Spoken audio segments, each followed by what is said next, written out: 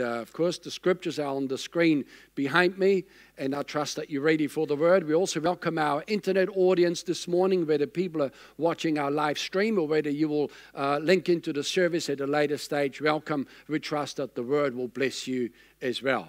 All right, so we are still uh, on our journey uh, celebrating, as we've said, 30 years uh, since the planting of this church here called Victory Christian Centre. And uh, the title of this series of messages is Living a Life of Faith and Victory.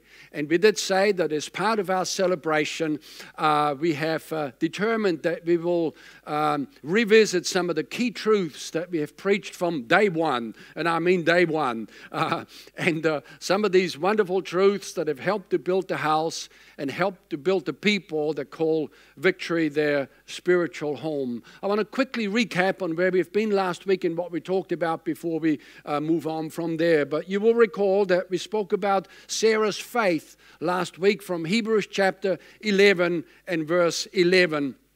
And it says, By faith, Sarah herself also received strength to conceive seed, and she bore a child when she was past the age because she judged him faithful who had promised. And when the Bible says by faith, in fact, all the way through the chapter 11 of the book of Hebrews, it says, By faith, this one did this. By faith, that one did that. By faith really means four things. Number one, it means to hear what the Word of God says. Number two, it means to believe what the Word of God says. Number three, it means to confess with your mouth what the Word of God says. And number four, it means to do what the Word of God says. And friend, can I really encourage you in those four areas? If you leave any one of those four areas out, you're not truly and not properly walking by faith. That's why we break these things down. You know, my greatest joy is to, get, uh, to help people to get into a, a faith walk and to live a life by faith because that's what God wants us to do. And of course, we said that Sarah heard the word of God, she heard the promise um, that God gave her and, and, and uh, her husband Abraham. Um, and uh, we said that she believed it in her heart uh, she confessed it with her mouth and then she acted upon it, came together with Abraham, and they conceived the boy. And of course, the rest is history. So this morning, I would like to continue on from there, and I would like to speak to you about the confession or declaration of faith. So, out of those four areas that we've covered so far, is to hear, to believe, to speak, and to do. I want to major on the third aspect of it, um, and that is the whole area of the confession of the Word of God or the declaration of the Word of God or the proclamation of the Word of God in your life. So I'm reading from Mark chapter 11, verse 12 through to verse 14. It says, The next day, when they come out of Bethany, Jesus was hungry. And seeing from afar off a fig tree having leaves, he went to see if perhaps he would find something on it. When he came to it, he found nothing but leaves, for it was not the season for figs. Um, verse 14 In response, Jesus said to it, Let no one eat fruit from you ever again. And his disciples heard it. Now, we have a story here recorded for us where Jesus was in Jerusalem doing what he did, preaching and visiting the temple, and, you know, in one instance, overthrowing the table of the money changers, healing people, and all of that stuff. And then uh, in the evening, they went out to Bethany, which was within walking distance, stayed the night there, and went back into Jerusalem the following day. And right here, We've got a situation where they come from Bethany. They're now back en route into Jerusalem. Um, and um, I don't know what the story is. Uh, and whether they didn't have breakfast or whether they had breakfast and Jesus is now, it's morning tea time, I don't know. But anyway, it would appear that Jesus was hungry, so he went over to a fig tree and he was hoping to find some fruit on it, uh, and, uh, but there was none. Uh, there was only leaves on there. And, uh, and Jesus began to speak to this fig tree and he made a faith declaration. He made a faith confession over it, or if you like, against it. Um, And uh, really, somebody said once, oh, Jesus went over there, and then when he couldn't find any figs, Jesus got angry. Well, no, Jesus didn't get angry. It wasn't an anger issue. This is a faith lesson to his disciples that are with him. Uh, he wanted to teach them how faith works. Um, and so he began to speak to this fig tree. Uh, and he made a faith declaration against it, which caused it to dry up from its roots within the space of about 24 hours. Now, somebody said once, I was like, well, I've tried that and nothing happened. Not in 24 hours, not in 24 days, not in 24 months or 24 years. And said, well, we need to realize that Jesus had a highly developed faith. People say, oh, Jesus did that because he's God and he was able to do that. No, no, Jesus didn't operate as God. He was God in human form, but he didn't operate as God. He operated as a man anointed with the Holy Spirit. Uh, and very shortly, uh, when Jesus gives us the explanation about what just took place, we will find out that everybody can make this work. All right, whoever wants to step into that, into a faith walk, everybody can make this work for themselves. All right, and so uh, right there, Jesus spoke to the fig tree and he said, Let no one eat fruit from you ever again. Jesus wasn't vague about it. He wasn't hazy about it. He made a very clear statement. Uh, when you and I walk by faith and we begin to speak faith, it's good to not be hazy and unclear, um, but that we're very clear and very precise, that we speak the end result uh, uh, very precisely over situations and over circumstances. Now, Mark 11 20, uh, it says, In the morning, as they passed by, they saw the fig tree dried up from the roots. Now, let me explain again. Um, one morning, they're going into Jerusalem from Bethany. On the way, Jesus speaks to the fig tree. They carry on. Um, Jesus did what he did. Uh, uh, in Jerusalem. In the evening, they come back out again. They go back to Bethany, stay the night, and the next morning they go back in again. And this is now verse 20. All right, they're now uh, 24 hours approximately later from the time that Jesus made that faith statement uh, it says that as they passed by, they saw the fig tree dried up from the roots. And Peter, remembering, said to him, Rabbi, look, the fig tree which you cursed has withered away. Now, sometimes uh, uh, people don't realize, but you know, Jesus didn't use the word curse, he just spoke. Uh, a, a, negative result over this uh, fig tree, um, and it was for all intents and purposes a curse, even though he didn't use the word curse. Now you can speak negatively over your life and not realize that you're actually cursing your own life. You can speak negatively over your family and not realize that you're actually cursing your family with the words of your own mouth. Friends, let me tell you, the devil is not our biggest problem. A loose mouth is our biggest problem. Because with it, we can bless or curse. We can do so consciously or we can do so ignorantly, but whatever it is, words of our mouth are very, very powerful. It's a little bit like, you know, it's a little bit like uh, you know, it's a little bit like a gun, you know, like a, a firearm is a very powerful thing to be able to achieve certain things. But each time when you speak words, it's like you're putting a bullet into the barrel and you're shooting this thing. And, uh, and, and this thing will either work against you or it'll work for you. All right? It'll either defeat your enemies or it will defeat you based on the words of your own mouth. So here in verse 14, it describes the declaration of faith. The Bible says that Jesus spoke to it and his disciples heard it. So Jesus wasn't mumbling, he wasn't kind of whispering under his breath, as it were, but Jesus made a very loud and a very clear faith statement, a very clear uh, faith command, if you like, a declaration. His disciples heard it. So that's what we have here. We got this declaration of faith. Then verse 20 and verse 21 speaks about the demonstration of faith. All right? So there's an, an, a demonstration, but in the space of 24 hours. And then in verse 22, and we're coming to it in just a moment, it gives the explanation of faith. All right, so let me run through it again. There's three areas. Number one, there is the declaration of faith. Number two, there is the demonstration of faith. And now comes the explanation of faith. Now, I don't know about you, but I'm interested in this explanation. Because if I know how to make this work, I can also give faith commands and see demonstrations of my faith at work. How many of you know what we're talking about? All right.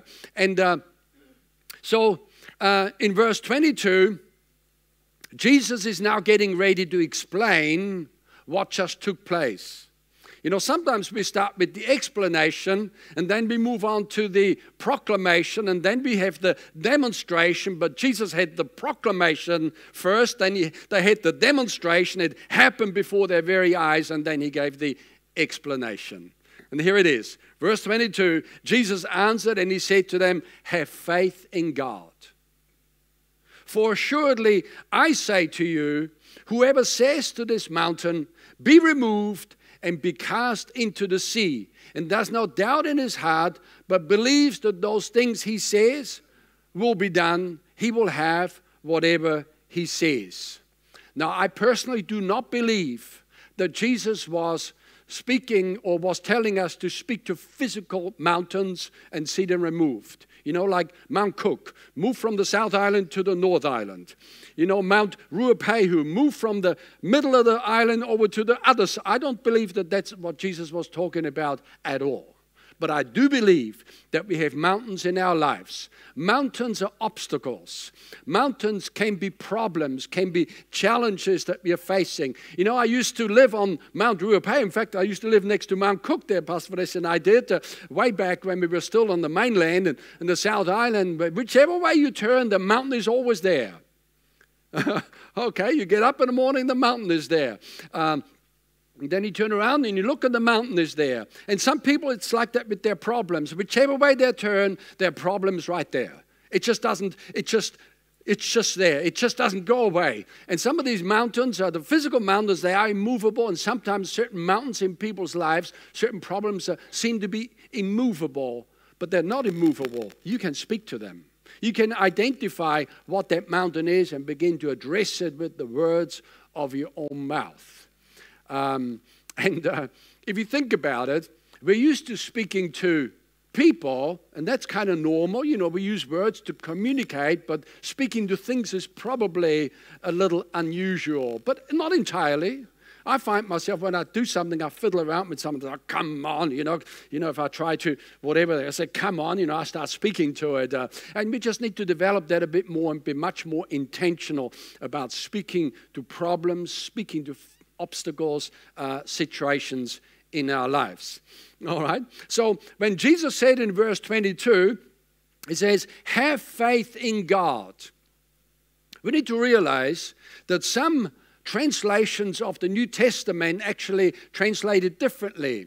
Uh, for example, in the Worrell's New Testament, um, and a few other translations, and also in the footnote of the King James Version, it actually translates it this way that Jesus was saying, Have the faith of God. Not just have faith in God, he said, Have the faith of God. Now, have you noted these two things are two different things? Of course, we have faith in God. We are, we are Christians. We are believers. We have faith in God. But you know what? You can have faith. You can have faith in God and not necessarily have the faith of God and know what to do with it. All right. And what we're discussing here is to learn how to use the faith of God and use it in the same way as God uses faith to. Uh, when God created the heavens and the earth, He spoke words. He spoke faith filled words and that's how He created the world and everything in it.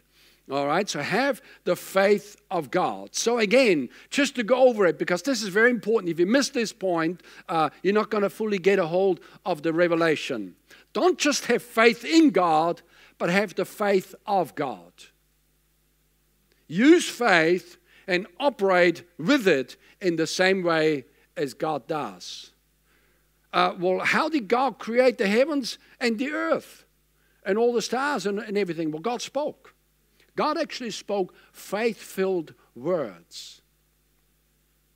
people sometimes, and I've said this before, but it, it's important. Uh, people say, "Oh, you know, just I just did this by blind faith, or I stepped out in blind faith."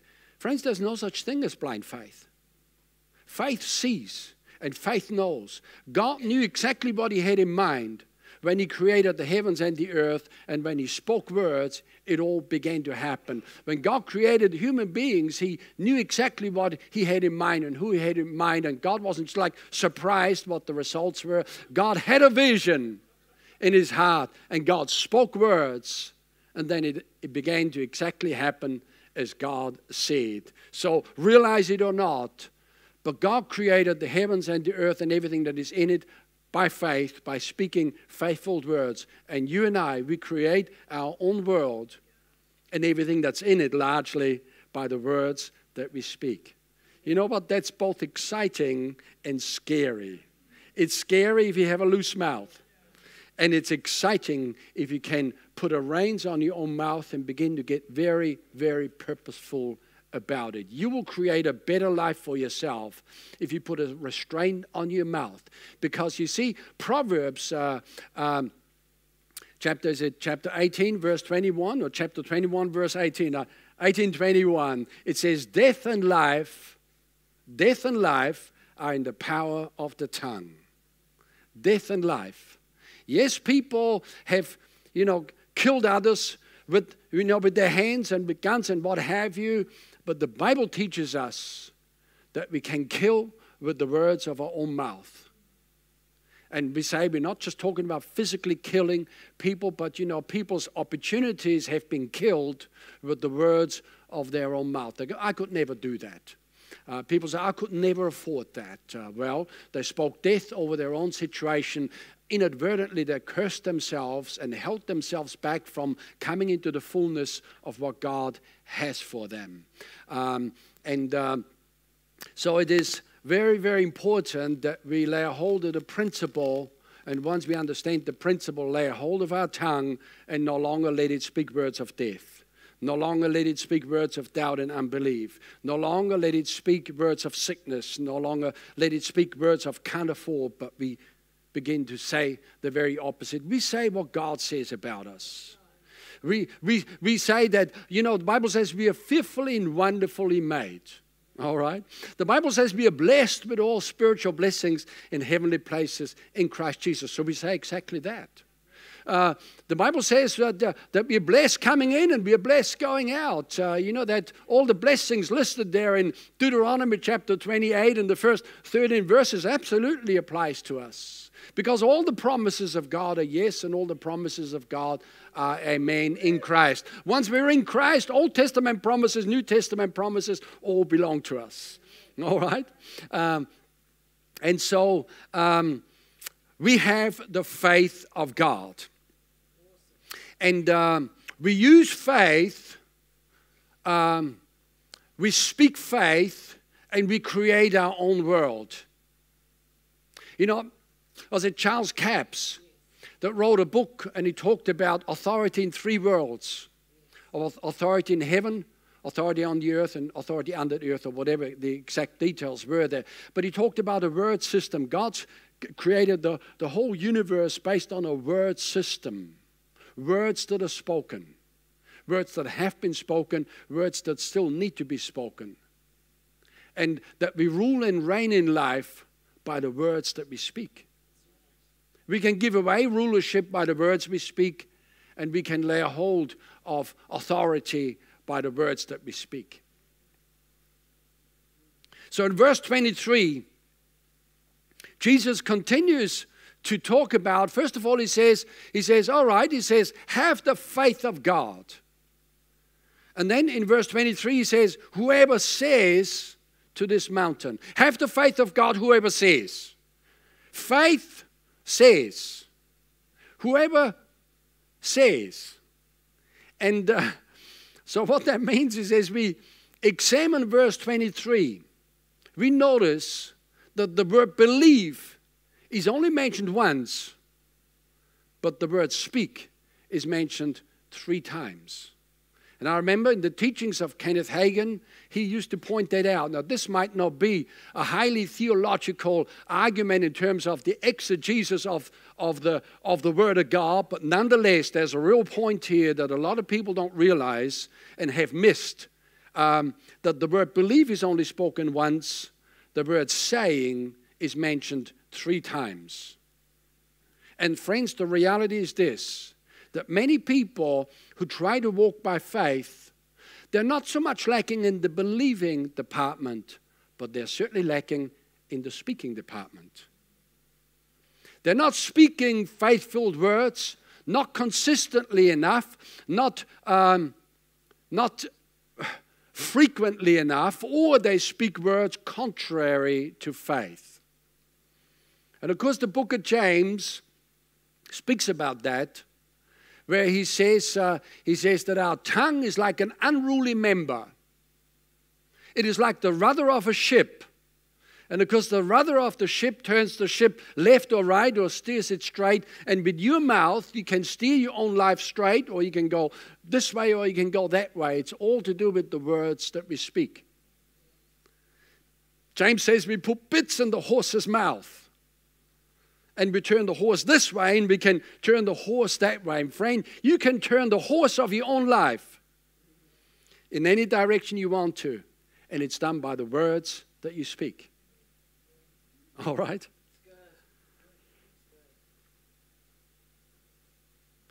So, how's your speaking department? All right, we're, we're believers. You know, we are believers. We're doing we're doing usually quite good in the believing department, but what stuffs people up is the speaking department. They don't understand, or they speak life and death, a bit of this, a bit of that.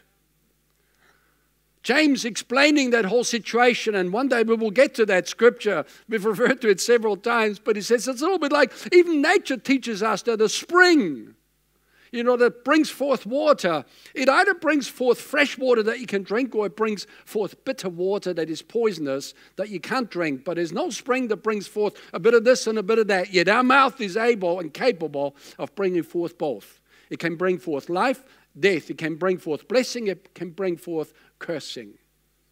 And of course, the whole point is that we train ourselves to only speak life. And sometimes particularly moments of great temptation, it is better to not say anything at all than to say the wrong thing. Now, not saying anything at all does not necessarily fix anything. We need to speak and we need to speak life. But if you really come under pressure and it's about to pop out, it is better to bite your tongue and not say a single word. Because uh, once the word is out, uh, the devil will use it against you, and those words will go forth and they will create. See, words are like little containers that we release and we speak into the atmosphere. We speak into situations. Um, and, uh, and they carry faith. And that faith will do something. And that faith will work in the positive and it'll also work in the negative. Everybody all right this morning? Okay. So, how are you getting on in the speaking department?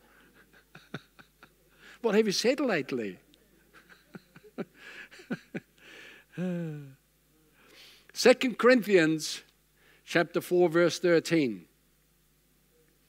And since we have the same spirit of faith according to what is written, I believed and therefore I spoke. We also believe and therefore speak we also believe. You see, Paul the Apostle teaching about faith, he's quoting from a verse of scripture, always, I'm, uh, I'm not entirely certain, but I think it might be uh, Psalm 51, where the psalmist says, You know, we, we believed and therefore we spoke. And then Paul says, He says, Guess what? He says, We also believe we have the same spirit of faith. We believe and therefore we speak. So believing means speaking.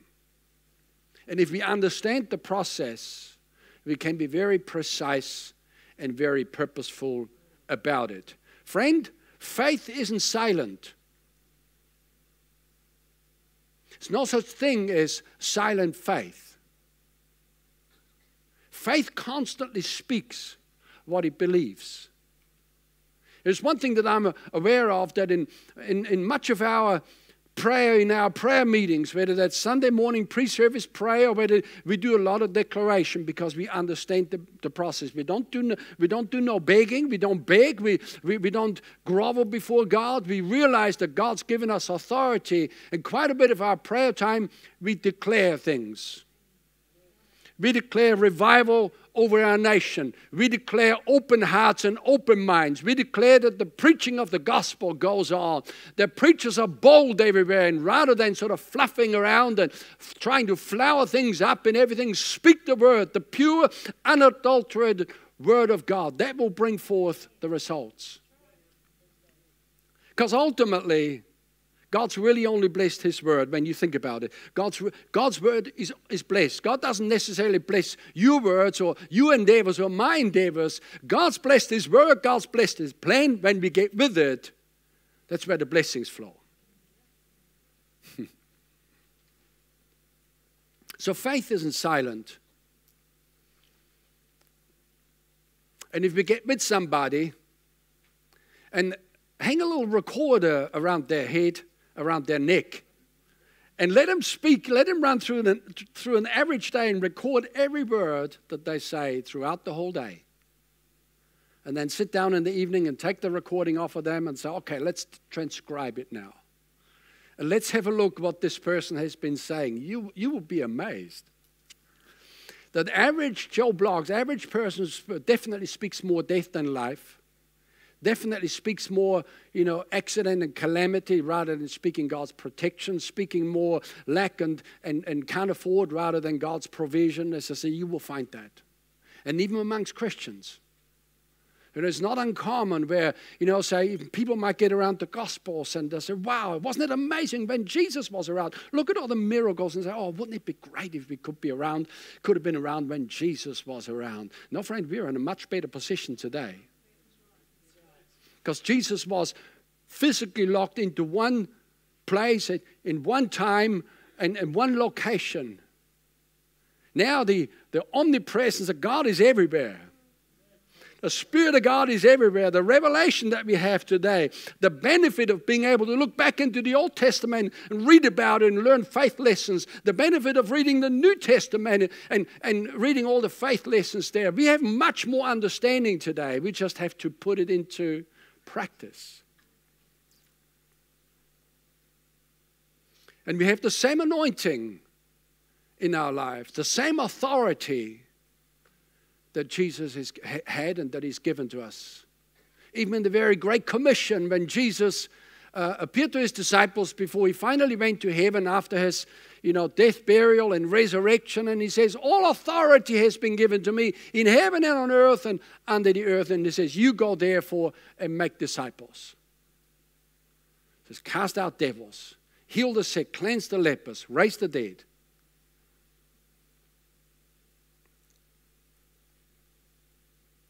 So, Hebrews chapter 13, verse 5 and 6 says, For he himself has said, I will never leave you nor forsake you. So we may boldly say, everybody say, boldly say. Okay, we don't say these things timidly, we say it boldly. All right, we may boldly say, The Lord is my helper. I will not fear. What can man do to me? So, what's happened here is that Jesus says, I will never leave you nor forsake you. So we then kind of take that truth, we might even formulate it into our words, and we boldly say, The Lord is our helper. We're not helpless, the Lord is our helper. I will not fear. I will not fear what tomorrow will bring. what can man do to me? So, this is the deal when we hear the word of God and believe it in our heart, we boldly say what the word of God says. When Jesus spoke to the fig tree, he made a very bold statement. As I said before, he wasn't vague, he wasn't hazy about it, he wasn't kind of like, oh, you know, he was just very definite about it.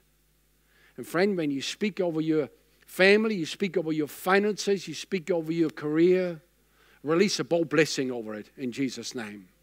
Be very clear and be very precise and be very bold. Take the word of God, personalize it, and begin to speak it over your life in a consistent sort of a way. And in verse 23, Mark 11, Jesus still speaking, he says, Whoever says and does not doubt, but believes those things he says, he will have whatever he says. Now, in this instance here, I've taken out some of the verse, some of the words in there to kind of simplify things. We're not changing the word of God, we're simply uh, kind of breaking things down so we can get our head around what Jesus really is trying to tell us. And here's the deal what Jesus is really saying is, you can have what you say, or you will have what you say. Let me read it again. Whoever says, uh, who, who is whoever? Who is whoever? Well, anybody that wants to make this work for themselves, they can lay a hold of these things. Because people might otherwise say, oh, you know, Jesus can do that, but Jesus says whoever can do that. If you, if you think you might be a whoever, you can raise up your hand and say, well, I'm a whoever too. I can make this work for myself. I'm definitely a whoever. All right?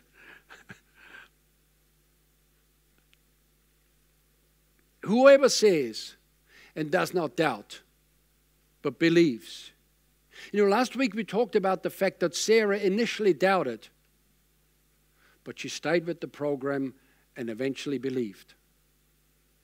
And you know, sometimes we, we might start out in doubt, but that's okay. We keep going. We move out of doubt into faith. He says, but believes those things he says, he will have whatever he says. I say certain things in my life that uh, I'm believing more now than what I did 30 years ago when we started uh, in the ministry here. And uh, for that matter, 40 years ago when we got saved and when we began to learn some of these things and when we first picked up the word, you know, we, we have faith in God, but we always didn't have faith in regards to every single promise. But when we develop faith regarding the promises of God, things really begin to happen. You know, somebody referred to it earlier on, but Don Gossett wrote a book entitled What You Say is What You Get. Don Gossett was a good friend of this house, good friend of Pastor Vanessa's and mine and his lovely wife, Deborah.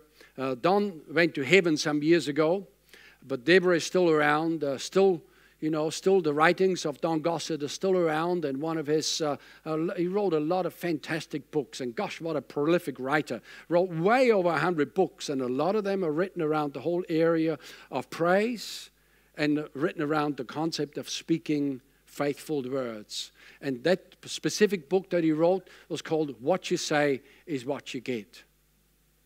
And in many respects, in terms of, uh, of who we are as a people and what our church was built on, it was built on this understanding is what you say is what you get. Don also wrote a book entitled Confession Brings Possession. And he was just a master at crafting words and putting words together um, almost in a poetic sort of a way and with an understanding that, you know, snippets, phrases that we can, we can lay a hold of and, and grasp and say, all right, confession brings possession. If I see something in the Word of God and I see a promise that I want, confession will bring possession. And confession you know, there's different words for the same thing, and depending on different people's backgrounds and you know, church background and history and what have you, people either use the word confession or they use the word proclamation or they use the word affirmation or the word of declaration. It's all the same thing. It's just we were brought up with the word confession because that's what Brother Hagin used to teach us.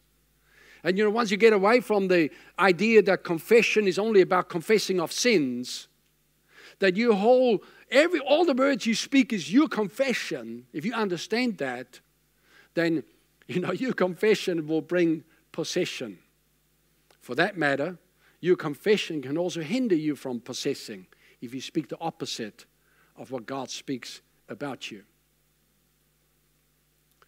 So, this book called What You Say is What You Get is built in its entirety on the very concept that Jesus is teaching us here in Mark 11, verse 23, verse 24. Have the faith of God.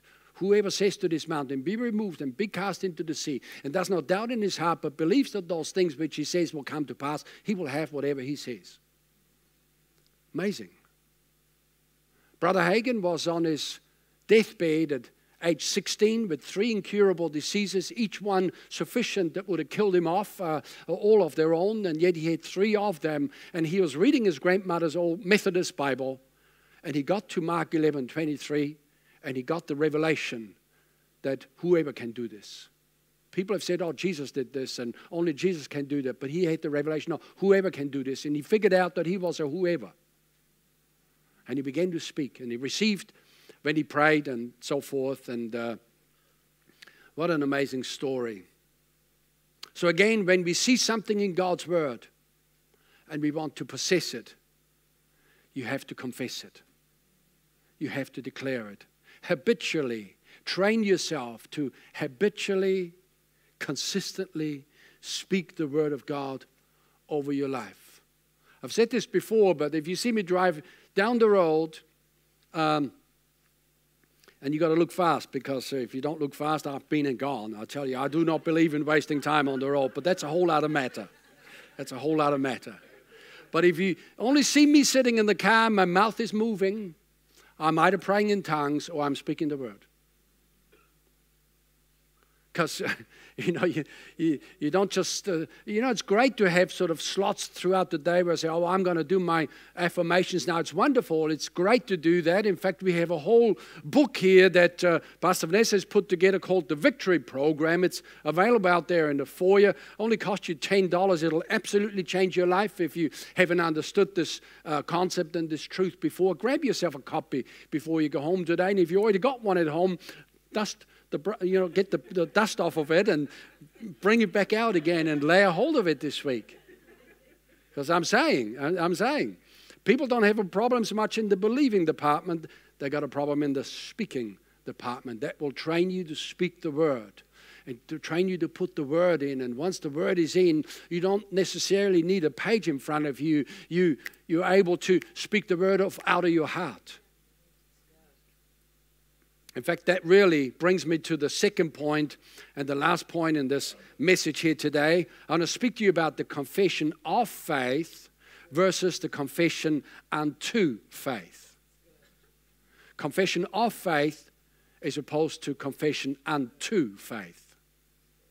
Again, Kenneth Hagin used to teach that, and subsequent generations of, uh, of you know, faith preachers and people that have absolutely blessed our lives, and we still preach it today um, because we know what it's done for us.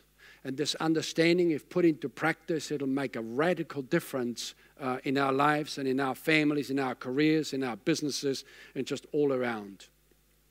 Kenneth Hagin used to teach that there are two types, two different types of confessions of the Word of God. The first one is uh, the confession of faith we, we've just discussed before. Jesus made a confession of faith against the fig tree, and within 24 hours, he had a result. All right? But the second type of the confession, and this is the preparatory confession, we call it the confession unto faith. Or, in other words, when we first start confessing the word, we, we are putting faith in unto faith. You see, the Bible says that faith comes by hearing, and hearing by the word of God. Romans chapter 10, verse 17. When you speak the word, you personalize it, begin to speak the word, the promises of God. Speak what God says about you. Your spirit hears it. It comes out of your own mouth, but your own ears hear it and it transfers down into your spirit. Your spirit hears it and eventually lays a hold of it. Faith comes. You don't need to wait for somebody to preach the word of God to you. You can preach the word to yourself. You, you, become the own, you become your own prophet in your own life. You prophesy your own future. You begin to declare the blessing and the promises of God, and you know how wonderful it is for us to have ministers in our lives that are enriching our lives with the teaching and the preaching of the word. But ultimately, you are the best prophet of your own life. You are the best preacher. Preach to yourself.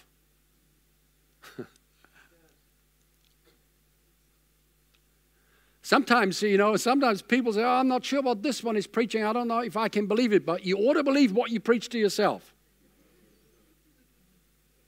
This is the problem. You see, where people speak life and death and people lie, cheat, and steal and what have you, then they don't believe what they speak out of their own mouth. You become a person of honesty and of truth and of integrity. And when you speak, you lay great weight on it.